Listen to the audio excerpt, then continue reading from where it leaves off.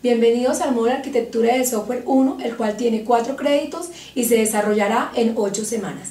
Este módulo le proporcionará al, eh, estudiante eh, abordar proyectos de pequeña envergadura y brindar un fuerte y sustentado soporte a la ingeniería como apoyo a la consecución de proyectos macros de diseño y eh, producción de software.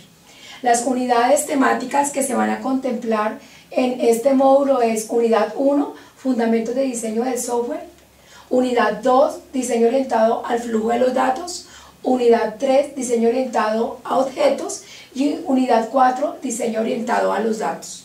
Durante esta semana se organizarán por unidad dos actividades individuales que son los insumos para la tercera actividad que, en la cual se lleva a cabo un trabajo colaborativo. Esta permitirá medir el nivel de competencia adquirido.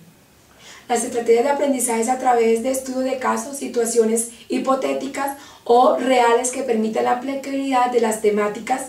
En esto se basan las actividades planteadas.